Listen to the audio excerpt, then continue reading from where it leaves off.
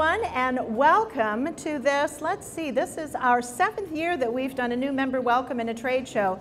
And it's the fifth consecutive year that we've had to bring more tables into this room. And uh, with 52 tables and about 170 plus registrants. So we're, we're moving right along up the, uh, up the food chain with, with, uh, with our trade show. My name is Kathy McKay. I'm the executive director of this Ajax Pickering Board of Trade, and you've met some of our staff. Brenda was out at the uh, front desk. She's our admin assistant.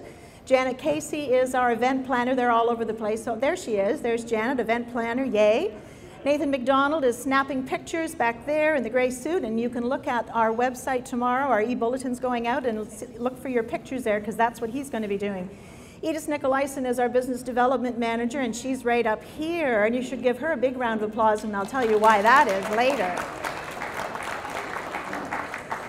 Now on with the show.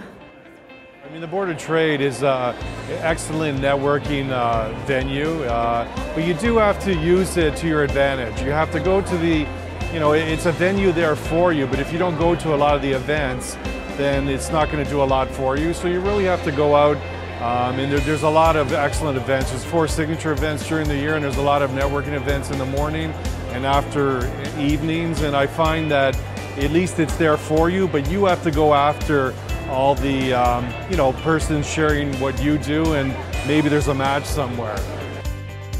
Yeah, it's a little more informal, so people can you know feel free to come talk to you and. Well, the Ajax Pickering Board of Trade is a fantastic group. Um, and we've been a member uh, for the last couple of years and just love coming out. Great bunch of people.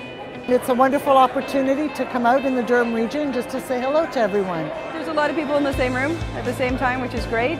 Um, and I find I get to spend a lot more time with people at their booths and find out more about their businesses than just kind of some of the after hours ones. We like to come to the trade show so we can network with the other members of the uh, Board of Trade uh, meet some of the new members who are coming out to see what the board has to offer. um, this is a really great place to meet all the different companies, see what they do, see what they can offer, what we can offer them, to make new friends too. Because I've been with the, this board for a year now and I know quite a few people just from coming to events. You get to meet a lot of people, um, a lot of um, different businesses get to network.